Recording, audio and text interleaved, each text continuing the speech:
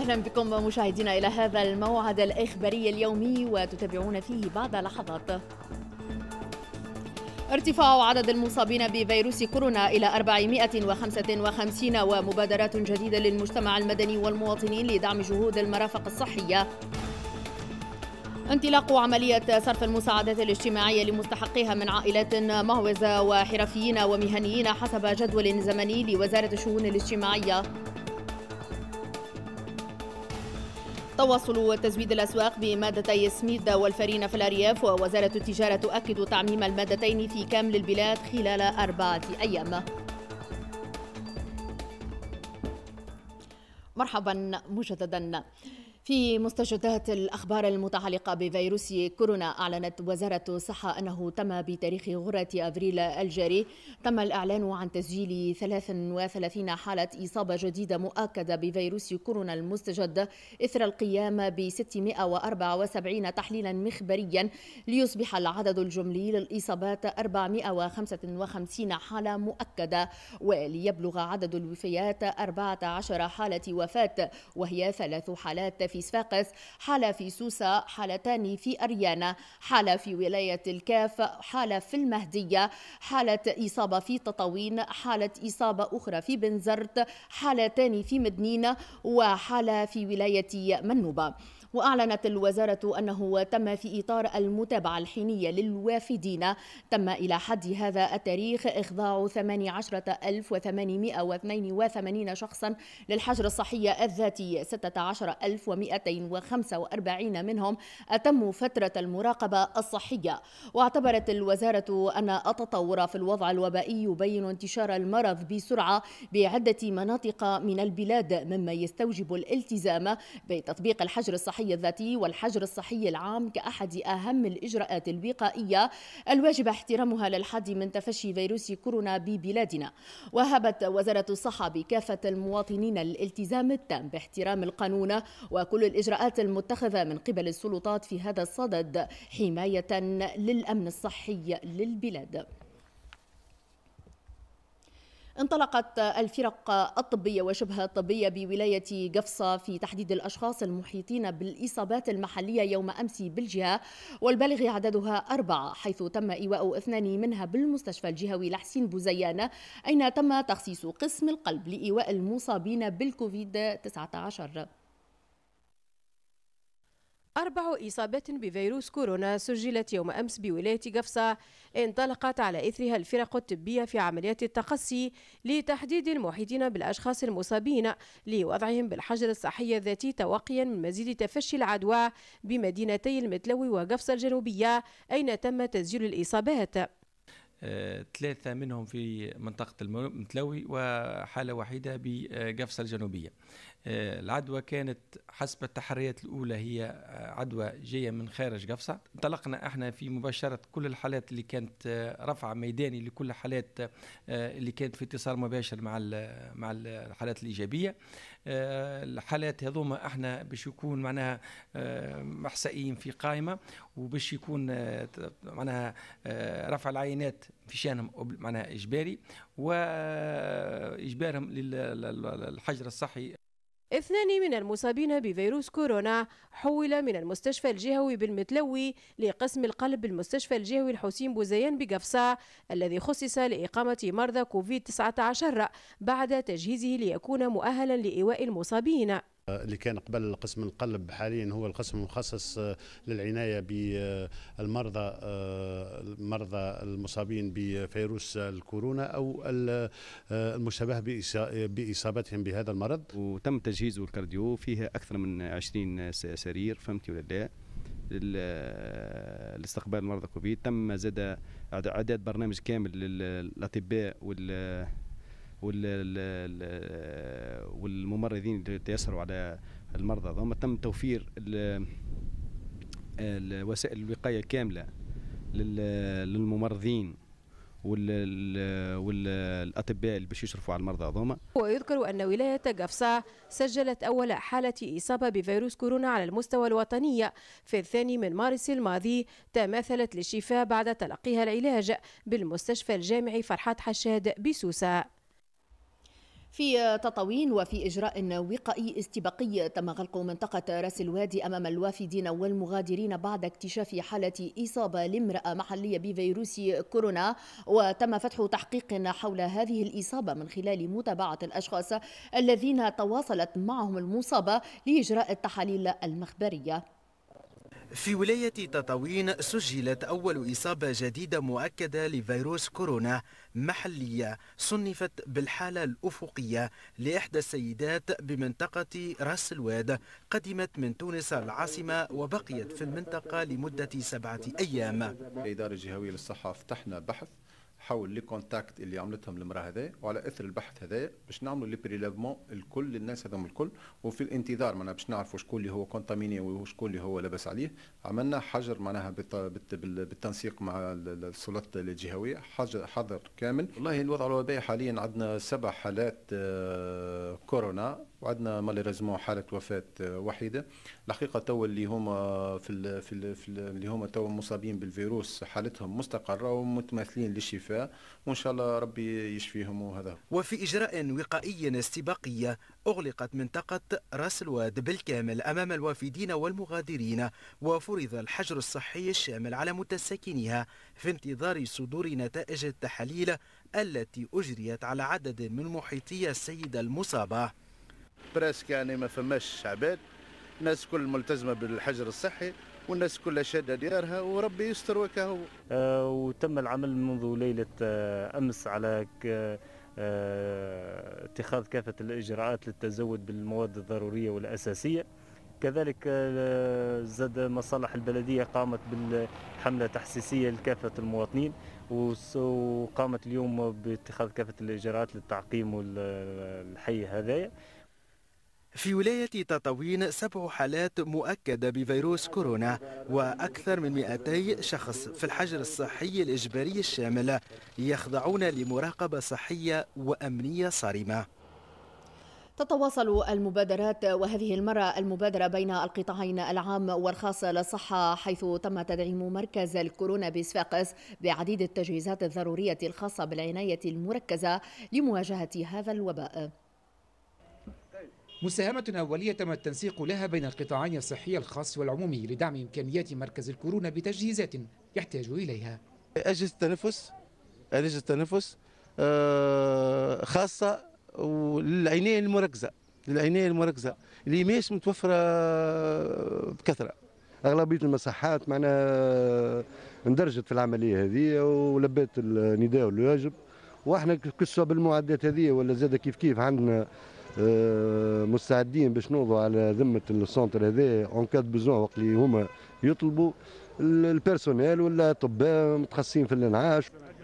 بادرة في سياق تركيز الجهود على ما ينفع الناس ويرمم شيئا من الثغرات في القطاع الصحي العمومي.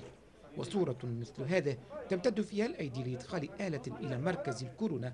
تؤكد أن التجاذبات التي يعيشها مستشفى الحبيب بورقيبة بصفاقس ظرفية.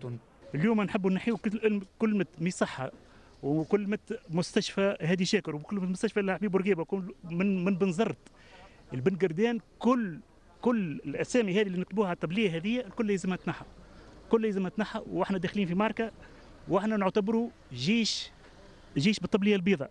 وقت وقت يهبط الجيش في يحارب بالسلاح راهو مش قايم يقولوا هذا عسكري من بن قردان وهذا عسكري من بنزرت اليوم كنا في ماركة ضد عدو مجهول ما نشوفوش إلا بالميكروسكوب ونحملوا شعار تونس. أما بخصوص موعد استغلال مخبر التحاليل بصفاقس فيبدو أنه لا ينتظر سوى الترخيص له من الوزارة. مخبر التحاليل المعلومة اللي عندي قدرة ربي الأسبوع القادم. الأسبوع القادم خاطر فما أمور فنية وتقنية هي ترجع بالنظر للإدارة المركزية اللي هي وزارة الصحة وإن شاء الله قدرة الإله الأسبوع القادم يولي يتم التحاليل هنا في على مستوى جهة صفاقس ومع ارتفاع نسق الاستعداد لمواجهة هذا الوباء ترد أنباء عن تزايد عدد المصابين في صفاقس بما يجعل الالتزام بالحجر الصحي السلوك الأنجع. للسلامة. متطوعان أصل مدينة قصر هلال من ولاية المنستير. استغل أوقات الفراغ التي فرضها الحجر الصحي العام وحظر الجولان في إصلاح الآلات الطبية المعطلة والمركونة بالمستشفيات العمومية لاستعمالها من جديد. هو اختار معاضدة مجهود الدولة في التصدي لفيروس كورونا بصيانة وتصليح المعدات والآلات الطبية المركونة بمستودعات المستشفيات العمومية. وخاصة منها التجهيزات التي يستعملها الإطار الطبي في أقسام طب الإنعاش في الظرف الراهن. طوعت وبدينا نصلح في الالات الطبية مجانية. أه، كي كلمنا السبيطارات خاصة أكدنا عليهم حاجتنا بالتجهيزات والالات اللي حاشنا بهم في الأزمة هذه. هما les appareils respiratoires les pousse-seringues آلات التخطيط على القلب. حاجات كي من هكا اللي تنفعنا في المدة هذه. أكثر من 70% من les pannes يتصلحوا. هم des pannes électriques ولا électroniques.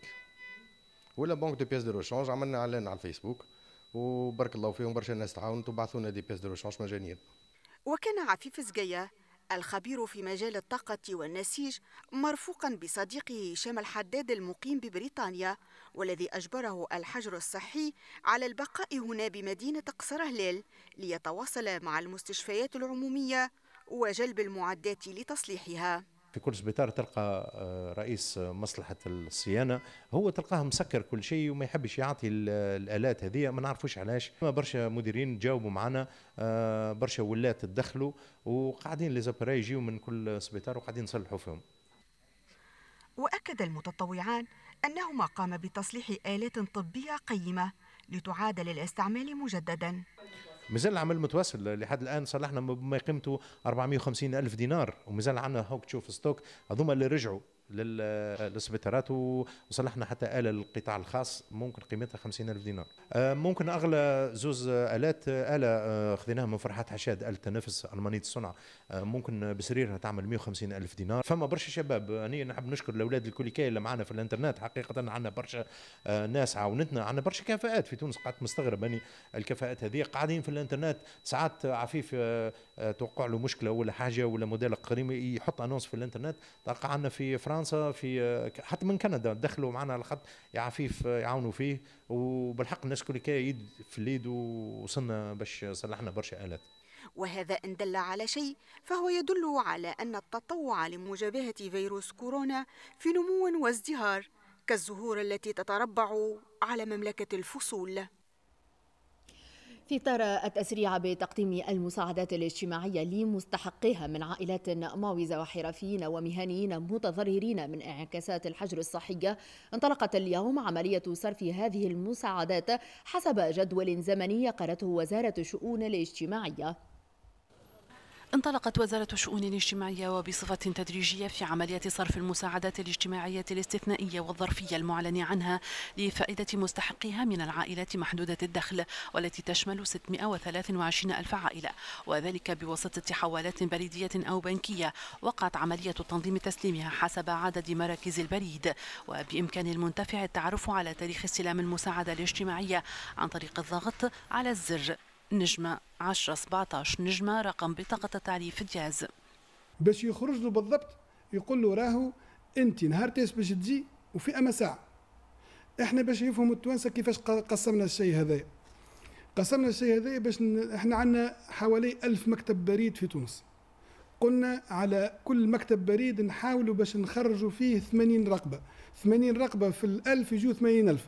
هذاك علاش قسمناه من كل نهار حوالي 80000 اللي باش يجيه الرقم نتاعو ويقول له راهو باش تمشي للمكتب البريد الفلاني اللي اللي كان قال لك نهار 2 أفريل امشي نهار 2 أفريل. كان قال لك نهار 3 أفريل أو في البلاد خلينا راهو اللي باش يجي نهار 3 أفريل. وهو باش يجي نهار 2 أفريل ما نعطيوش ويشمل توزيع المساعدات بداية من الثالث من أفريل المنتفعين بالمساعدة الظرفية من العائلات المعوزة. فيما تتسلم العائلات المتكفلة بالأشخاص ذوي الإعاقة مساعداتها الظرفية بداية من الاثنين المقبل. وفيما يتعلق بالمهنيين والحرفيين المتضررين من إجراءات الحجر الصحي الشامل تنطلق عملية التسجيل للانتفاع بالإجراءات في الرابع من أفريل عبر بوابة مخصصة للغرض. هو من أجل البناء منصة آه، يدخلوا عليها السادة les patentés هذو نسميهم patentés ومتضررين آه، يدخلوا على المنصة ابتداء من نهار 4 أفريل. نهار 4 أفريل لقاو عندهم منصة باش نعنوا عليها ونوريوها لهم معناتها قال عليها في في كل وسائل الاعلام les patentés هذوما يدخلوا على المنصة هذه ثم des cases يلزمهم يجاوبوا عليهم وتو تقع إجابتهم مباشرة كل حد شنو الإعانة اللي باش ياخذها. أما بالنسبة إلى العمال المحالين على البطالة التقنية تم إطلاق بوابات إلكترونية لتمكين مؤسساتهم من تقديم مطالب مساعدة اجتماعية ظرفية استثنائية وتنطلق عملية التسجيل بداية من يوم السابع من أفريل. هذا وكانت الحكومة اتخذت جملة من الإجراءات للتخفيف من الأعباء عن العائلات محدودة الدخل عبر إعادة التزويد بالماء الصالح للشرب وعدم قطعه لمدة شهرين كذلك الكهرباء.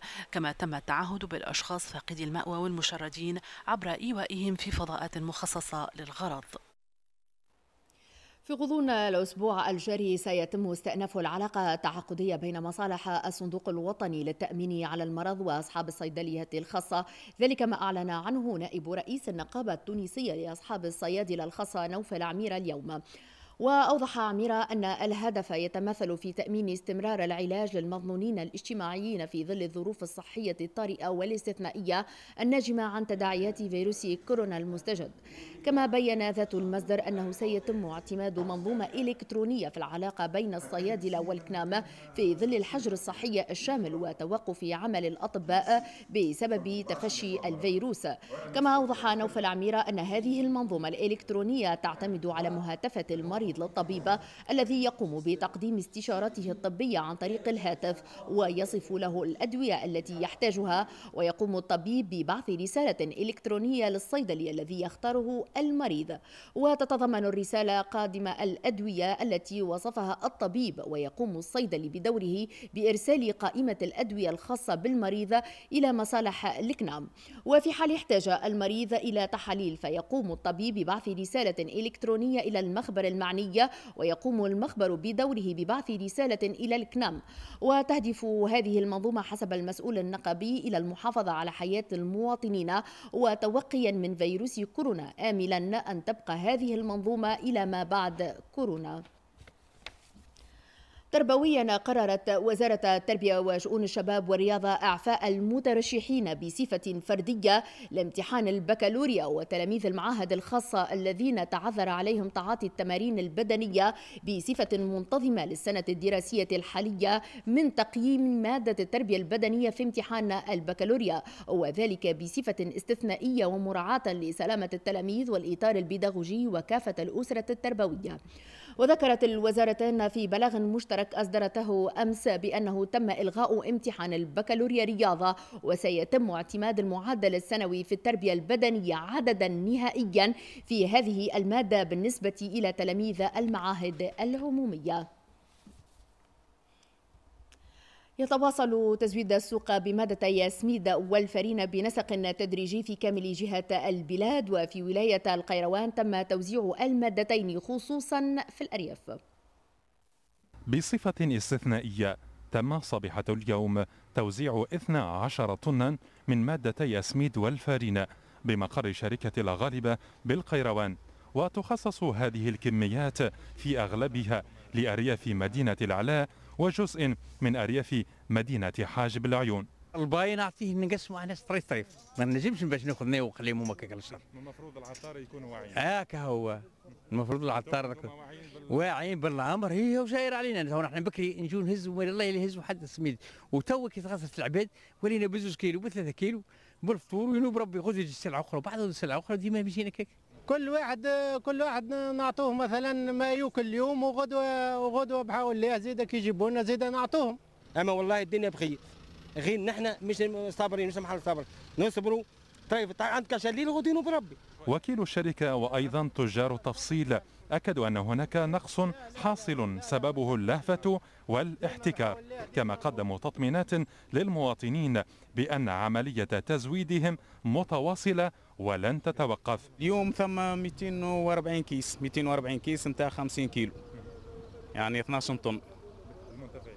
المنتفعين هما بنسبة 100% سكان الأرياف سكان الأرياف في العلاء هاي.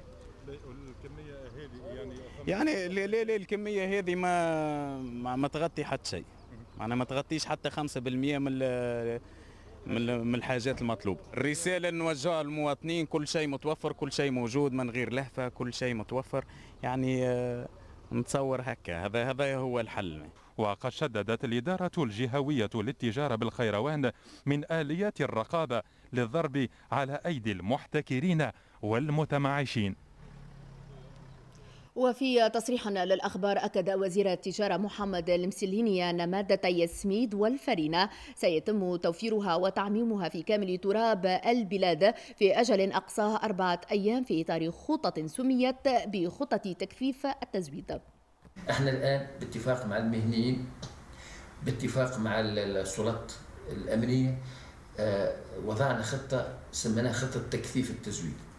يعني نضخوا كميات أكبر مع السلطات الجهويه السادة الولايات والمدير الجهوي للتجارة والسلطات المحليه أيضا نوجه التوزيع في المناطق البعيدة والريفية. الآن آه، نأكد للتوانسة إنه الكميات موجودة كميات من القمح موجودة. ما عادش ثم حصص الآن في المرحلة. ما ثمش حصص سنزود المطاحن اللي تلتزم بالبرنامج. تزويد كامل والفرينة المعدة للخبز موجودة في كل المخابز والمخابز تستغل وكل المواطنين في المناطق اللي فيها مخابز وهي سواء كان مخابز مصنفة أو مخابز آه، غير مصنفة. فالمواد هذه موجودة ومتوفرة وكل ال وكل ال المخابز تأخذ آه، كمياتها من الفرينة بشكل عادي. إذا مشاهدينا هذا كل ما لدينا البقية تأتيكم في نشراتنا القادمة ونذكركم بعناوين النشرة. ارتفاع عدد المصابين بفيروس كورونا إلى 455 ومبادرات جديدة للمجتمع المدني والمواطنين بدعم جهود المرافق الصحية.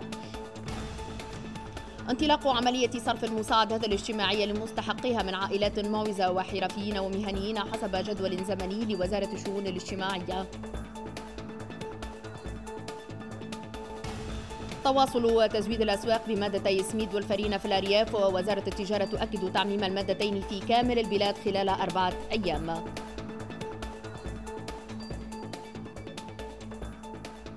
وفي الختام مشاهدينا يمكنكم متابعة هذه النشرة وغيرها من الأخبار على بوابة التلفزة التونسية تونسيا تيفي نقطة تيان. في الختام أيضا نعول على وعيكم مشاهدينا ليحمي الله تونس ويحمي الجميع. دمتم في رعاية الله. إلى اللقاء.